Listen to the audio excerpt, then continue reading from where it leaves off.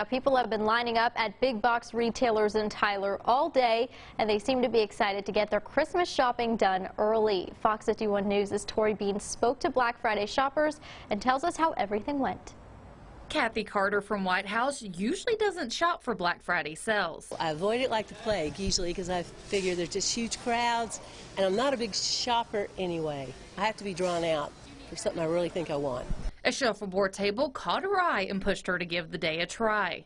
It's not near as bad as I thought. It's not as crowded. Of course, it's early. I've never been in a in a store this early, but um, it's fine so far. So I'm going to look at some more things. Academy opened its doors at 5 a.m.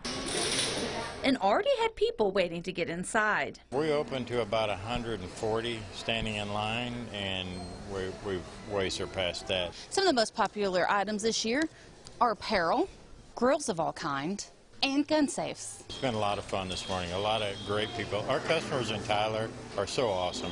They they, they come in, they're in great spirits, they're having fun. Uh, several of them dressed alike, you know, with their, their Christmas shopping shirts on, and so it's been it's been a great time.